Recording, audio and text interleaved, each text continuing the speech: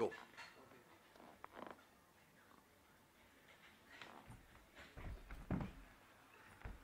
Oh, we might need to turn lights on actually.